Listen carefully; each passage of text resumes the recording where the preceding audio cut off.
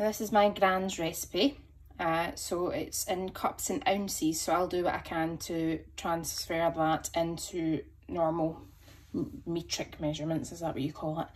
Um, but my mum's fallen over today walking the dog out this morning, so she's got a swollen ankle and feeling a wee bit sorry for herself. So I thought I would make her this, drop it off to hopefully make her feel a wee bit better. You get yourself a pot. We're going to put some of the ingredients in here and cook it in the hob before adding the eggs and the flour afterwards. First thing I want you to put in is 150 grams of your currants. That's sultanas though.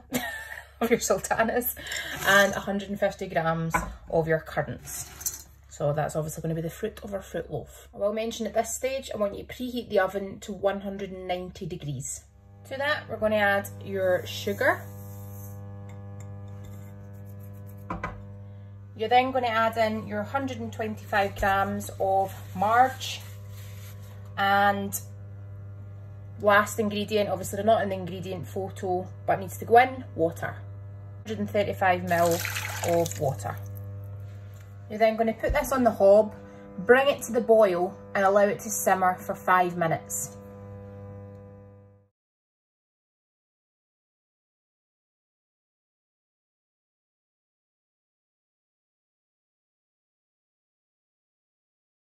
Once it's came to the boil, you want to turn down the temperature just so that it's simmering like that and simmer it for about five minutes. And you know, fruit loaf is one of the only things I still use a wooden spoon for. Not my silicone spatula. This is a wooden spoon job. Classical wooden spoon for a classical recipe.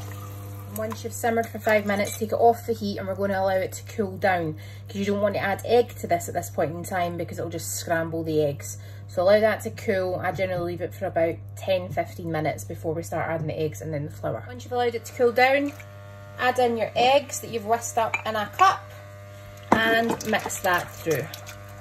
Weigh out your self-raising flour and we're going to mix that through as well. I'm just going to get the flour and add it in and mix that through.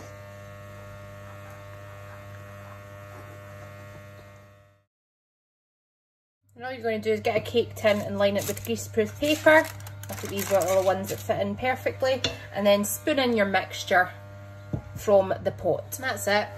So put it in the oven that you've preheated to 190. So I've just done the stick test at 40 minutes and it is still a bit gooey inside, but as you can see the top's nice and brown. I don't want it getting darker, so I'm going to put some tin foil over it just so that it doesn't get burnt on top whilst we continue to cook the inside after one hour at 190 degrees. So I'm going to allow that to cool before slicing.